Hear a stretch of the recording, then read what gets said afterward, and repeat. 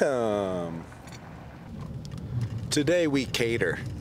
We're just mopping away out in the woods. This is an awesome ranch. I think it was an original like Spanish land grant ranch. So we're on about 20,000 acres out here in the woods, a historic site. And uh, that's where Corbin's gonna light a fire.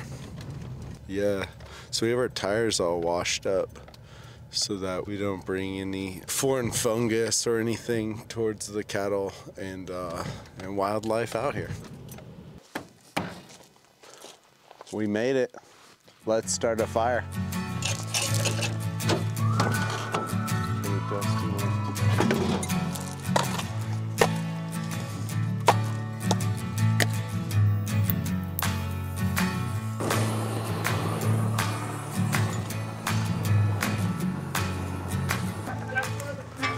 What's up, Playmaker? Good to see you guys again. So stoked to be here. Tri-tip on the Santa Maria style grill. Peeled garlic into our tri-tip seasoning. Three spices. Good times ahead.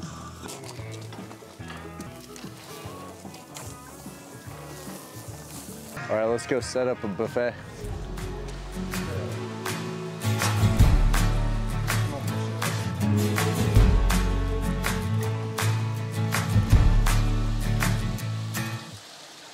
Yeah, baby.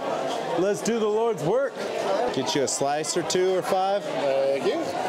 There you go, you handsome devil. Enjoy. Look at us out here catering, having too much fun. What a gorgeous estate, and just so happy to be here.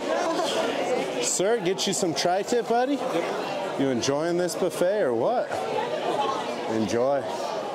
Guys, we survived the cater, and it was too much fun. What's your name? Julie. Julie is here, and I think the next part of the process for me is kind of is hopping in the pool. Oh, yeah. Delicious. You did a great job. Well, thank you. We like the trunks too. Thank We you. do. It's time to cool off, guys. Time to cool off. You going in, Chef? Yeah, Of course you are. yeah. That's why they invite me to these kinds of things. The food was fantastic, thank you. I know my Thank you. husband came to ask if it was their beef or not, but It was just a lucky day on the grill. That's there's no such thing as luck when it comes to that kind of skill. You're right, that fire is hot.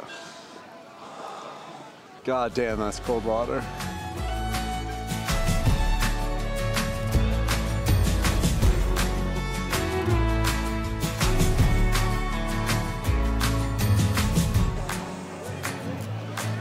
Just another great day catering.